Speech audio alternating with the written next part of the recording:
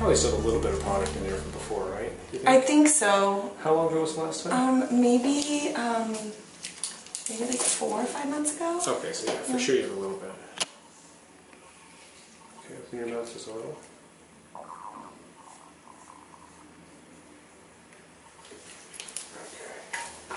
Is there numbing stuff in that too? Like when you, Oh, yes. when you do it? I know yes. sometimes it does that. It, doesn't really help with the initial. Right. totally. Volbella is a relatively new product in the United States. It is made by Allergan, similar to Juvederm. It didn't hurt. It's good. Good. Close your mouth for a second. So you can see already there's a very subtle difference, but you can see this side is just, everything's a little more plump than this side. It's just got a little more smoothness to it.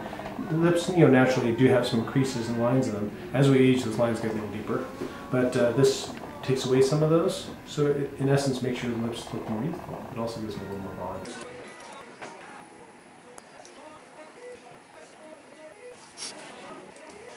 Do you like having uh, their lip be more or less similar all the way across, or do you like having like a little gap in the middle? Some people like having a, a little deficiency in the middle. I like it to be a little like poofy there. Okay. We- Okay, so you see my lip have, have a little piece that comes down? Yeah. But you don't really have that. You have almost, a you put your lips together, you almost have like a little bit that doesn't quite meet. Mhm. Do you like that? They're like a Michelle Pfeiffer lip. Yeah, I like that. Okay, Yeah. we'll save that then. A little bit here. Pinch. Volbella in the lips can be uh, very nice because it will increase the volume without causing that sort of overdone look. Sometimes if you put too much of the thicker fillers in the lip, you can get that sort of ducky or fish lip kind of look. Volbella will not do that. It can give you full lips, it'll give you that plump look, but it won't give you that duck look. Volbella is also ideal for minimizing those lines that people have in their lips. Everybody has lines in their lips, those creases. It's normal, but as we age, they get deeper. Yeah, I love them. Yeah. Yeah, it's perfect. I think you might be a little swollen here, but that's not filled. I think it's a little swelling. Okay, So, okay. yeah, compared to the other side. I love them. They're Okay. awesome. Okay. Yeah. Good. They're so cool. Yeah, I think it's enough in the lower. Do you want a little extra in the lower? Sure. Okay. Whatever you want to do. I think I'll put just the tiniest little bit right here. Pinch.